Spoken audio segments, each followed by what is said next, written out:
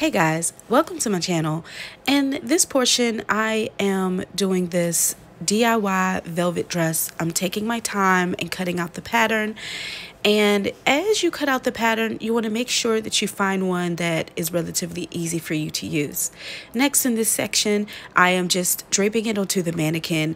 Uh, you will see me um, pinning down the sides and then also just trying to adjust it also uh, for each panel of the back so that way you can insert your zipper.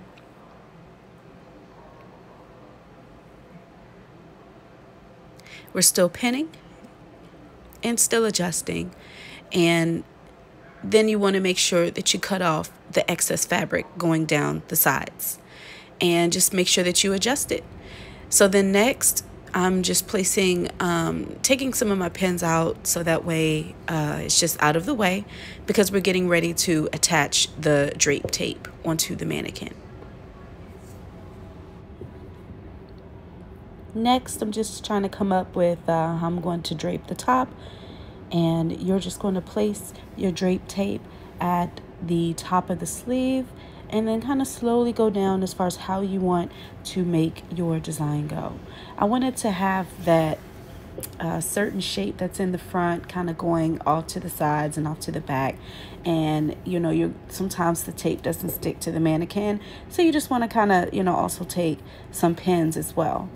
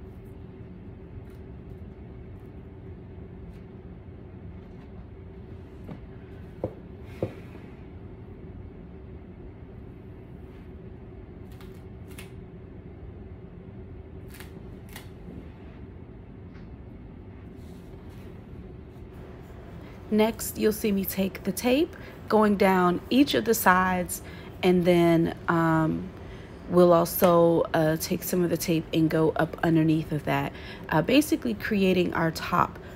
And so later you'll see how I'm designing this um, and also the mannequin that I'm using uh, is actually polyfill stuffed to the measurements of my client and I've also used saran wrap to kind of create the duplicate shape of my client. Um, there's other ways that you can do this. I just found that this was easiest for me and cost effective. so um, that's what made it uh, very interesting to work with. Uh, my client's hip was more like a 48. Her bust, I believe, was a, um, she's smaller up top. So that's what we decided to go with.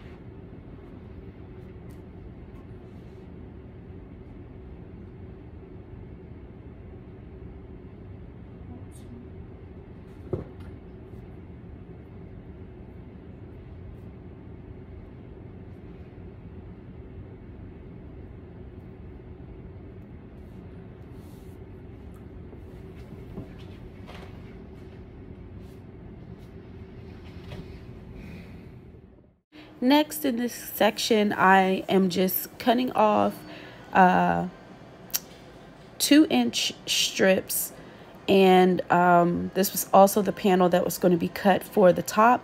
So I'm just splitting that and then also just kind of stretching it out onto the mannequin feeling around where I feel my tape at. And then basically I will be uh, pinning along those sides there uh, to make it stay.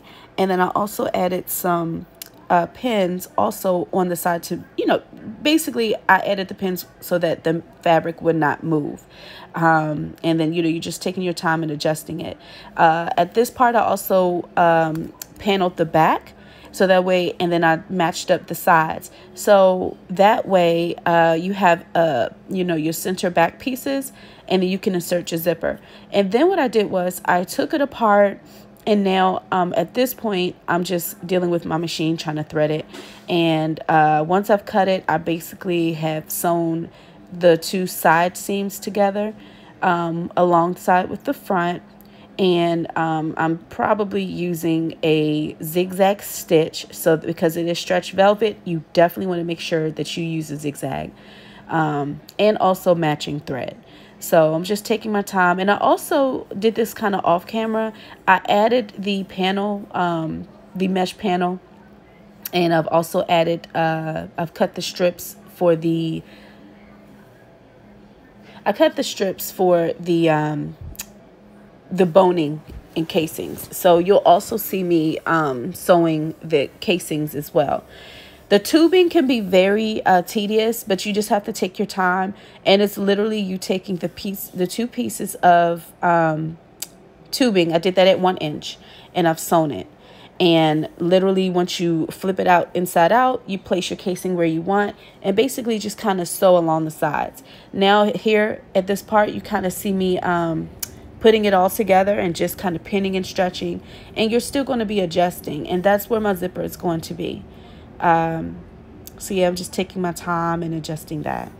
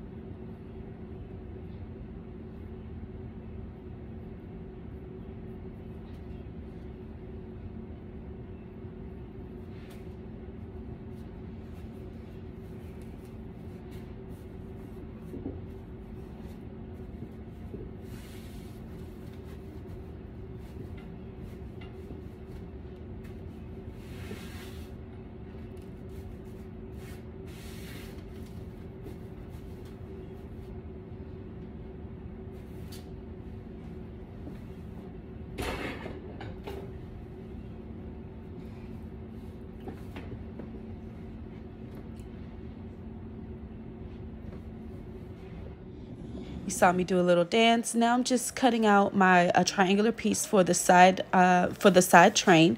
And uh, literally what you what I just did was sewn a little hook and eye. And then I took my time and um, around that triangular piece, I had to kind of cut it uh, circular so that way you get that shape. And I also added the horsehair in it as well.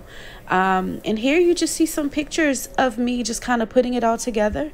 And um, later added the zipper and basically she's done. And i have my little makeshift background backdrop that i got from joann's. And so enjoy.